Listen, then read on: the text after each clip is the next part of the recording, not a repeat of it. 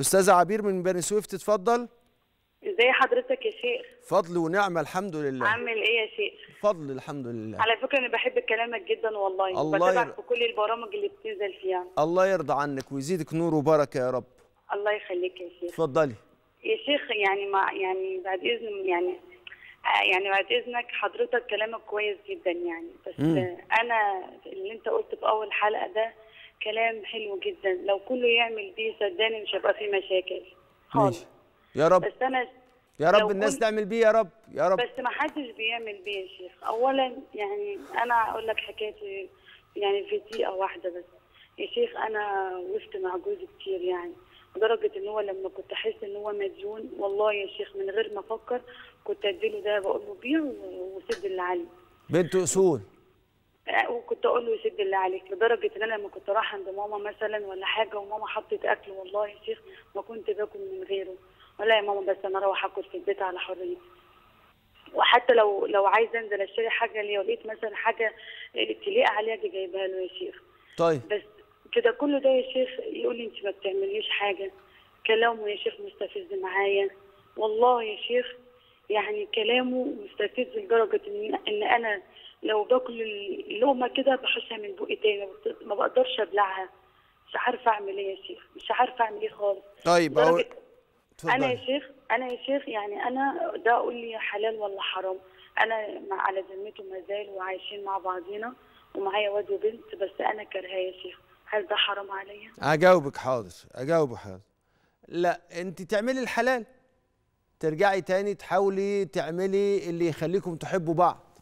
إن هو إيه مثلا؟ هو دلوقتي ما بيقولش كلام حلو. ما بيقولش كلام حلو ليه؟ قد يكون عشان هو حاسس إن هو مأزوم ومحدش واقف معاه. أنا حاسس كده إن هو بيحس بكده.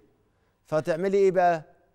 تحاولي بقدر الإمكان إن أنت تحسسيه إن الدنيا إن شاء الله رب فيها خير كتير. فيحس إن مين اللي بيفتح له النور وطاقة النور والبركة؟ أنت. فبشريه. بتسأليني تعملي إيه؟ بشريه. افضلي دايما بشريه كده. وافضلي دايما حسسيه إن هو ما بيتأثرش في عينك ما بيتغيرش.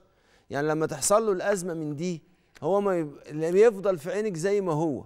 لأن أحد بعض الرجالة بيقولوا بدل ما هي أكيد هتشوفني لما معيش فلوس وأكيد ما تشوفني إن أنا في أزمة هتنقص مني. طب بدل ما تنقص مني خلاص بقى نبوظ العلاقة اللي بيننا وبينها. صحيح بيعملوا كده في بعض الرجالة بيعملوا كده.